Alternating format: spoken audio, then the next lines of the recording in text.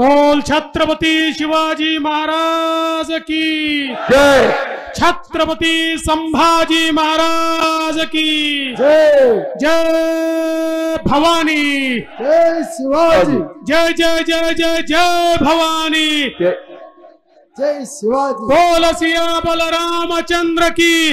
पवन सुत हनुमान की जय। उमापति महादेव की जय। बोलो जी भाई सब संतन की जय। सनातन हिंदू धर्म की जय। गो माता की। जय। या ठिकाणी मंचावर उपस्थित आपल्या सर्वांचे आदरणीय नारायणगावचे नारायणपूरचे आदरणीय अण्णा महाराज ज्यांच्यामुळे ही बैलगाडा शर्यत सुरू झाली ते आपल्या सर्वांचे लाडके आमदार पैलवान महेश दादा लांडगे मंचावर उपस्थित समाधान दादा अवताडे राहुल दादा कुल जगदीशजी मुळीक बाळाभाऊ भेगडे प्रसादजी लाड. त्याचप्रमाणे या ठिकाणी मंचावर उपस्थित प्रदीप दादा कंद आमच्या आशाताई बुचके शंकरभाऊ जगताप आमचे नरेंद्र अण्णासाहेब पाटील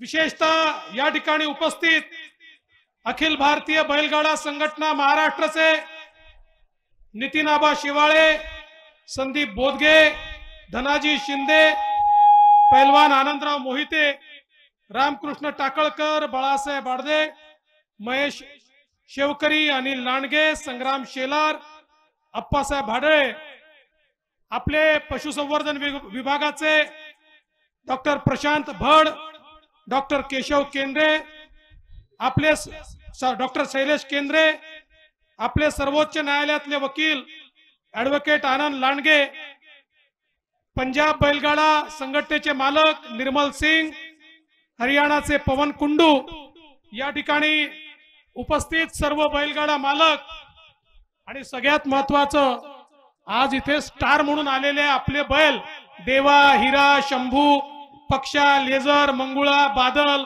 सर्जा बाल्या होम्या हिरा!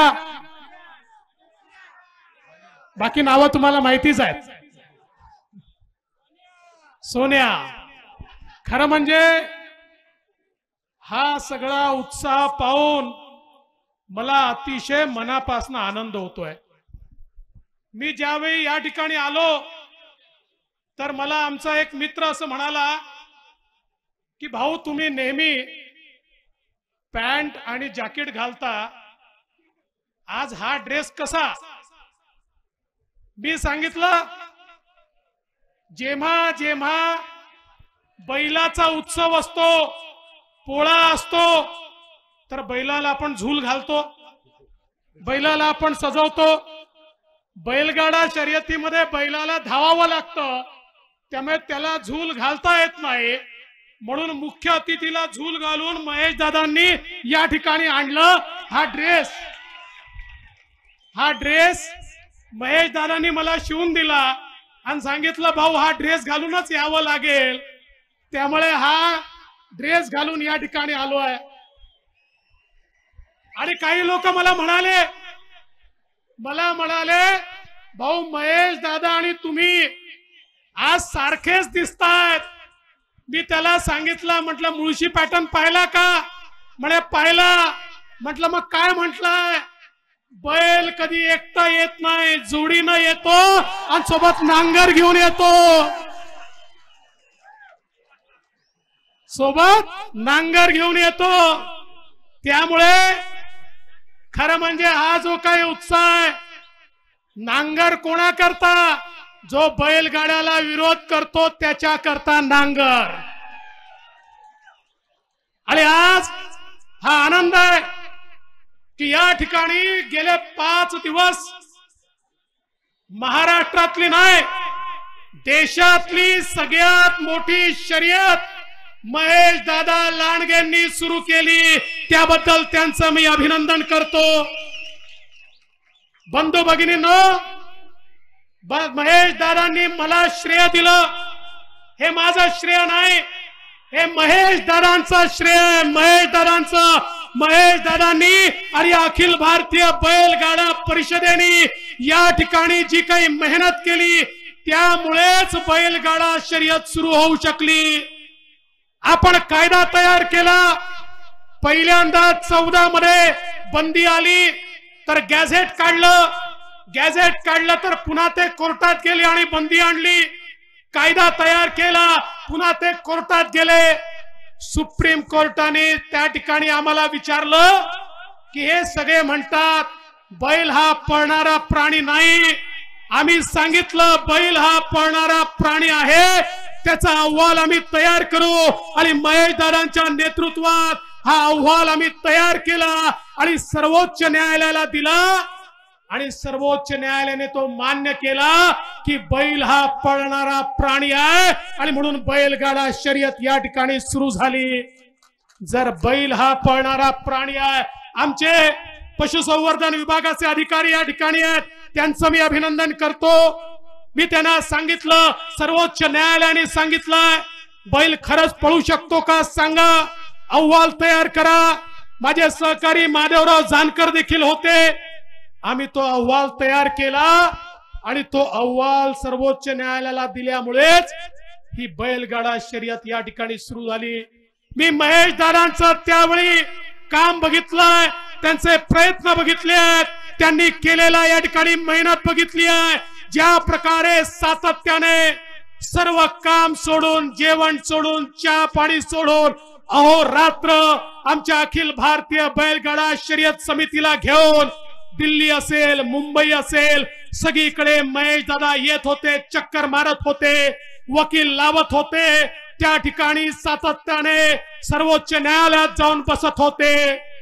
मी प्रामाणिकपणे सांगतो हे माझ्या आहेत म्हणून सांगत नाही बंधू भगिनींनो. पण या ठिकाणी बैलगाडा शर्यत सुरू झाली त्यात सिंहाचा वाटा कोणाचा असेल तर या महेश दादाचा तो सिंहाचा डाटा आहे हे आपण सगळ्यांनी लक्षात ठेवलं पाहिजे. आमचे बाळाभाऊ भेगडे देखील त्या ठिकाणी आहेत. ते असतील या ठिकाणचे सगळे आपले नेते असतील सगळ्यांनी प्रचंड प्रयत्न केले आहेत. आणि आज हा उत्साह पाहिल्यानंतर मलाही मनातनं अत्यंत आनंद झालाय.